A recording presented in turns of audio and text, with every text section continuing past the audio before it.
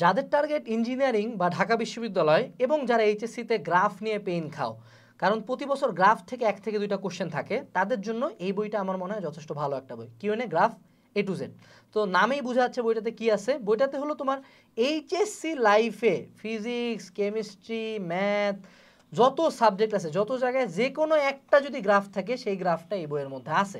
তো ভাই গ্রাফ কেন করব? কারণ প্রতি বছর গ্রাফ থেকে কিছু না কিছু কোশ্চেন আসে। তাছাড়াও তোমাকে বেশ কিছু পরীক্ষায় গ্রাফ আর্ট করতে বলা হয়। সো যদি তোমার গ্রাফগুলা খুব ভালো মতো করা থাকে এবং বোঝা থাকে, তাহলে কিন্তু তুমি ইজিলি অ্যান্সার করতে পারো। সেখানে তুমি সবগুলা গ্রাফ দেখতে পাচ্ছ। সেই সাথে এখানে তোমাকে আমি একটা জিনিস দেখাই যে, ধরো তুমি এই গ্রাফটা কি বা এই গ্রাফটা নিয়ে কথা বলা হলো।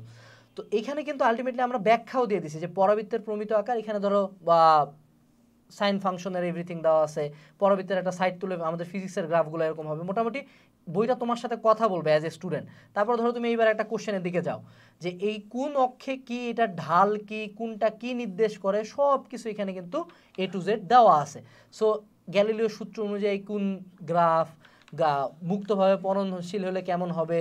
ভূপৃষ্ঠের উপর অভিকর্ষ স্তনের গ্রাফ কেমন হবে? তারপর হলো বিকৃতির লেখচিত্র কেমন হবে? সো এভরিথিং এখানে কিন্তু খুবই ভালো মতো গ্রাফগুলো দেওয়া আছে। সো যারা গ্রাফ নিয়ে জানতে চাও বা ফিজিক্স কেমিস্ট্রি ম্যাথের তুমি একটু ডেপথে যাইতে চাও বা ইঞ্জিনিয়ারিংয়ে পরীক্ষা দিতে চাও বা ঢাবিতে পরীক্ষা দিতে চাও বা এইচএসিতে ভালো করতে চাও কেউ না গ্রাফ এ টু জেড বইটা তোমার সাথে রাখা ভালো। কারণ এটা তোমাকে বাকিদের চেয়ে লেভারেজ দেবে এবং তোমার কাছে মনে হবে যে তুমি বাকিদের চেয়ে এক্সট্রা বেশ কিছু জিনিসপাতি পড়তেছো। সো বইটার ইবুক বা প্রিন্টেড কপি তুমি আমাদের ওয়েবসাইট বা রকমারি থেকে অর্ডার দিতে পারো। সো জলদি যদি অর্ডার দাও QnA graph A to Z